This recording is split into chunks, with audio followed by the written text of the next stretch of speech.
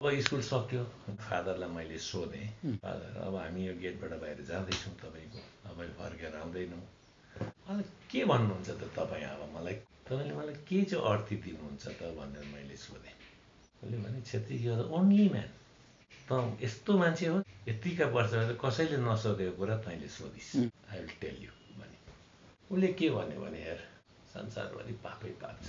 काँडे मात्रै छ यहाँबाट गएपछि तेरो एभ्री कर्नरमा तैँले केही न केही अब्सटिकल भेट्छस्। दुईवटा कुरा तैँले नबिर्से।